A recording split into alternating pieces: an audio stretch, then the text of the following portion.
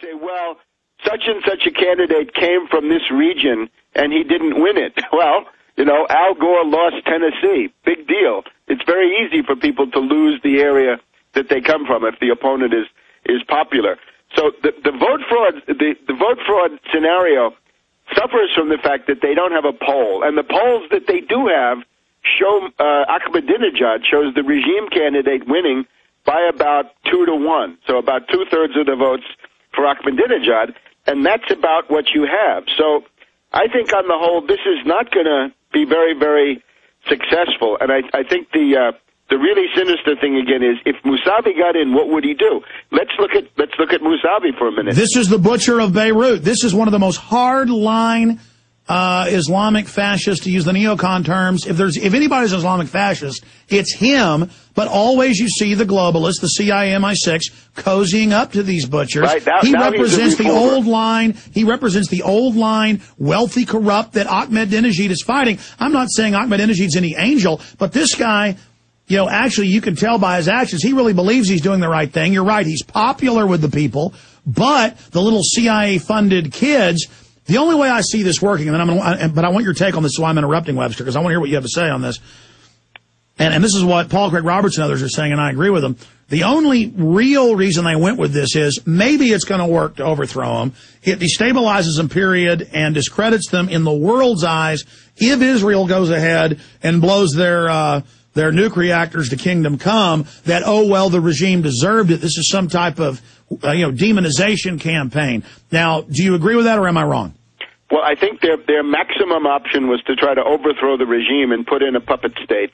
Uh, the, the other thing, let me talk in a minute about the idea of busting up Iran, because that's their real real uh, uh, strategy.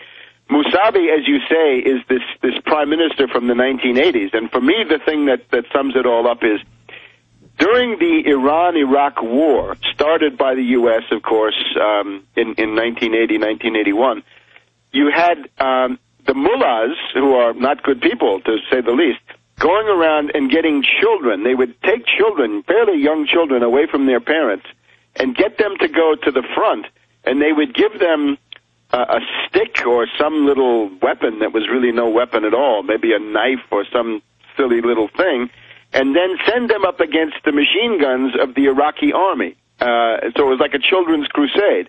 Now, Musavi was the prime minister who presided over human wave attacks by young children who had been taken away from their parents by these uh, these mullahs. So this is what he represents, and he, of course, is a tool of this guy Rafsanjani. Rafsanjani is one of the most corrupt people in the world. Rafsanjani could compete with uh, with Zardari there in Pakistan in terms of corruption. Right, he's the extreme uh, uh, corrupt manifestation of the old regime. So Rafsanjani, who is the oldest, most discredited, most corrupt representative of this entire uh, theocracy, that, that again, the theocracy was set up by Carter and Brzezinski uh, during the uh, the Carter administration. Right? They installed Khomeini. That's what they wanted. They wanted Islamic fundamentalism as a bulwark against Soviet communism, and by God, they got it. Uh, so Rafsanjani is the spirit of Khomeini living on, and that's that's Musavi. So this is now in the in the eyes of the U.S. and the British. This is now a a wonderful reformer, and his wonderful supporters are these uh, people that everybody should support. So I think this is going probably going nowhere, and therefore that's a defeat for Obama. Because remember, the argument for Obama was that this uh, wonderful personality, this dazzling smile of Obama would transform the world through magical powers, right? Obama would gesture hypnotically and the regime in Iran would fall. And again, the soft power people wanted the argument of saying, don't attack Iran, don't attack Iran. We can, we can deal with Iran using, using these methods. Now, they have shaken the regime, but I don't know what's going to come out of it. I mean, it's, it, it's, you know, Tiananmen was, was uh, certainly not as, not, it was more extreme than what we've seen here and that did not work in China. So it doesn't look, it looks like the, the color revolution people power coup model is getting to be so well known that you can take measures against it, right? The Iranians have cut off Twitter and cut off parts of the internet and so forth. Uh, so they, I think they knew what was coming and they were ready for it. Now, in terms of the long-term CIA stuff, the, the, the journalists today ignore the fact that Bush, in May of, of uh, 2007, with great fanfare, Bush signed a $400 million program to subvert Iran using communications. You know, there used to be fax machines, now it's Twitter, cell phones, internet. And more importantly, that was done publicly for a color revolution. They said to get the students to try to overthrow the government, an act of war. And I want you to continue, but for folks sure. that don't know, this is on record. We've written a bunch of articles at Infowars.com and PrisonPlanet.com previous to this latest big flare-up. They tried this actually back in 2004, the year after they'd taken over Iraq. There were some bombings and riots and things. And then they started, even before 2007, hiring four groups. And you always go over that, Webster. And, and then I want to move back to the you know, current time and into the future. But, but, but you're really an expert on the four groups. One of them Kurdish, three of them, uh, connected in, uh, to, uh, Sunni Wahhabist and number three in Al Qaeda working for CIA but then also one of the groups that worked for Saddam. They've got, so that's five groups bombing mosques, blowing up school buses, shooting police, and Iran has sued the United States. The West admits they're staging attacks. Can you imagine if Iran was staging weekly attacks here for years? So it's not just 2007 with the shift from paramilitary attacks to getting the students ready for now what's happening. And then the facts of also how the mullahs can appoint who's going to run anyway. So why would they steal an election when they rig who gets to run anyway? So, I mean, it, it, it's just unbelievable. But how terrorists, including Al Qaeda, openly work for the U.S. and England. And then they think our public is so stupid, Webster. They tell us Iran is Al Qaeda when it's the opposite uh, uh, a religious group of Islam. I mean, this is like saying Superman is Lex Luthor. Yeah, the, the U.S. Congress, of course, has passed, repeatedly passed, regime change laws concerning Iran. In other words, a, a flagrant interference in the internal affairs of a sovereign state. Now remember, Seymour Hersh of the New Yorker has been writing articles since, what, 2004, 2005, saying the U.S. has special forces teams, terrorist controllers, saboteurs, political operatives on the ground in Iran, and they do.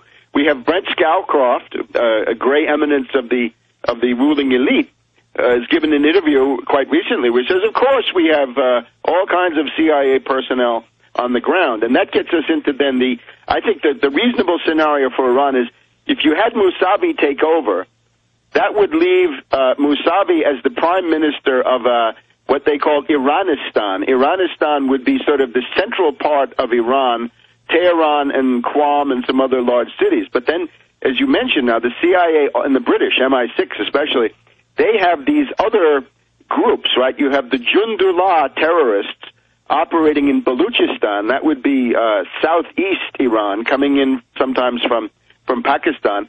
They have uh, terrorists coming from Afghanistan into the area in the uh, northeast. That would be Pashtunistan. That would be another component.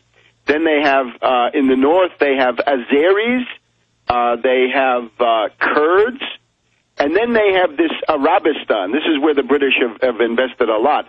Arabistan or Ahvaz is the coast of Iran along the uh, Persian Gulf or, or Arabian Gulf, the Gulf, I guess.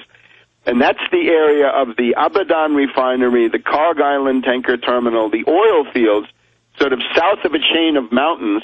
And here, for a long time, the, the, British have, have sponsored what I call the BP Liberation Front, British Petroleum Liberation Front, because it is an, it is an open attempt to detach from Greater Iran parts that, that the British used to control and used to be their They want to slice the big port. They want to slice the big port and oil field away, so Iran has trouble. Right. And uh, then you uh, mentioned the, the MEK, right? The Mujahideen e Khalq is a is a an army with tanks with all kinds of weapons that the U.S. has and continues to protect inside an enclave on the Iraqi side, but these people can be can be sent over. So if you add up uh, Al Qaeda uh, in in that uh, Pashtunistan area, you've got Jundullah in the Baluchistan area, you got Mujahideen e Khalq, you've got this Ahvaz Liberation Front, you've got four or five different terrorist groups that are being fomented by the U.S. and the British. And the the, the background to the entire thing, they say uh, if you turn on CNN, they say, well, the economy under Ahmadinejad is bad. Yeah, there are sanctions. There are draconian economic sanctions, practically a blockade. I don't know why Ahmadinejad doesn't get up there like Castro and say, you know, comrades or you know, uh, uh, brothers in Islam, our economy is bad because we're under economic blockade. Uh, and I suppose he does he does say that. But that that is one of the realities. Now, Ahmadinejad is, of course, a populist uh, demagogue with a lot of bluster. But uh, in terms of an election, it really looks like he won it. So, yeah, certainly we, we, have U.S. poll companies saying two to one, and then uh, the other clown announces he's won hours before the polls close to create the perception of a stolen election when he loses. Webster, do you think he knows he's working for the CIA, or do they want to put him yes, in? I, I think he's he's probably a witting actor. All right, stay there. Uh, we'll come back and get into other areas of the world.